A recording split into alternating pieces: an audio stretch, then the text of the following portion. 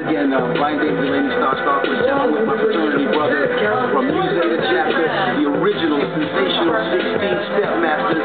This is number seven, I was number 14.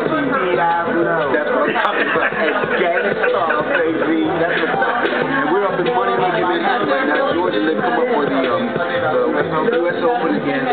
George, man, so good to see you. It's like, man, it's God is good. And one I'd like to ask,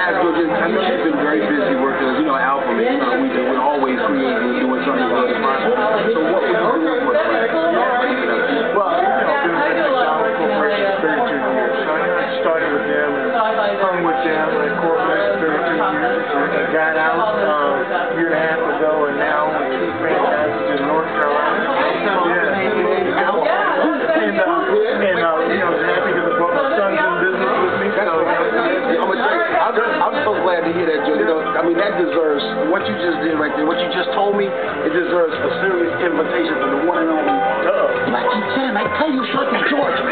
so very proud of you because in Chinese language, so many black people don't do so good, but you do very, very, very well. You know, in Chinese, there's no L. Unless you say very, very, very good. Very good. George, you do very good. This is Blackie Chan. Come to you very good. You gonna see. Blackie's out of there, bro. Oh, that's so glad to see you, man. That's what's man. We got something. so where you staying? Where you staying? I'm in Brooklyn. Well, I'll, I'll be back with you. Stay tuned with the Star Question. I got my other brothers here, and we're gonna give an interview with them guys. This is Mu Zeta 06 and Money Making Manhattan, making it happen. Stay tuned to the Star Question.